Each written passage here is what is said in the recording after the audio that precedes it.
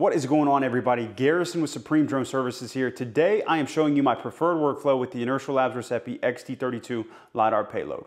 Let's get started. First thing you want to do is get your base station and set up on a nail or survey marker with known coordinates and start recording static data which will be used during your processing workflow. Then you want to get your drone set up. Today we are using the DJI M350. Once your drone is set up, you want to get your RESEPI LiDAR payload. You want to take off the lens cover here on the LiDAR and you also want to take off the lens cover here on the camera. Once both lens covers have been removed, you want to line up the white dot here with the red dot on the M300, M350. Then you want to gently twist until the red dot and red dot align and you will hear a subtle click when the system locks into place. Now that the RESEPI is on the M350, grab the antenna for the RESEPI. You want to slide the antenna here into the included GoPro handlebar mount. Then you want to attach the antenna to the arm of your M350. Make sure that the antenna is snug and then wrap the cord here around the arm of the M350. Once the cord is wrapped around the arm of the M350, you want to screw in the cable here to the side of the Now that the RESEPI has been attached to the M350, the antenna has now been installed, you are going to power on your drone. Now that the drone is fully powered on, grab your USB of preference and insert here into the side of the RESEPI, then power on your RESEPI using the power button here towards the bottom.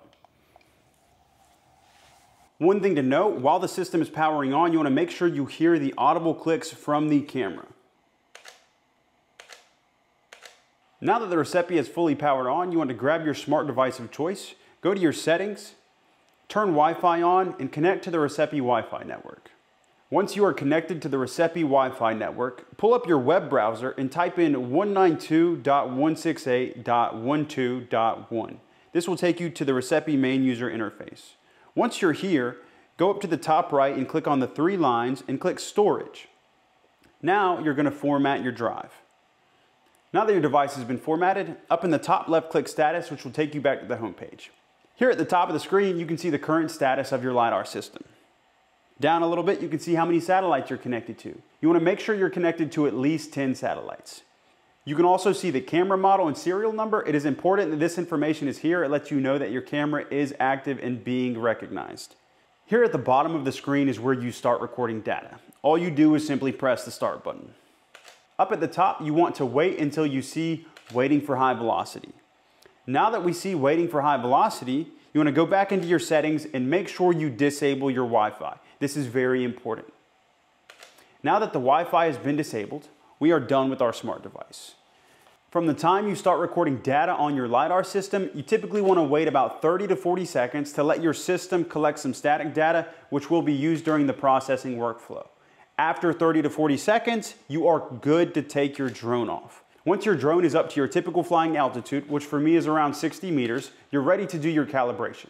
For your calibration, you want to go forward in a straight line for five seconds at high velocity. Then you want to slow down and do a figure eight.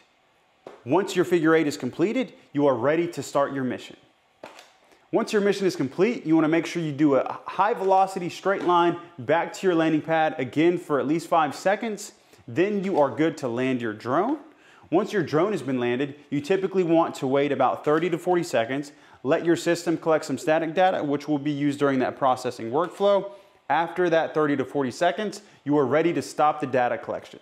To stop the data collection, it's a simple tap here on the power button. That will stop the data collection.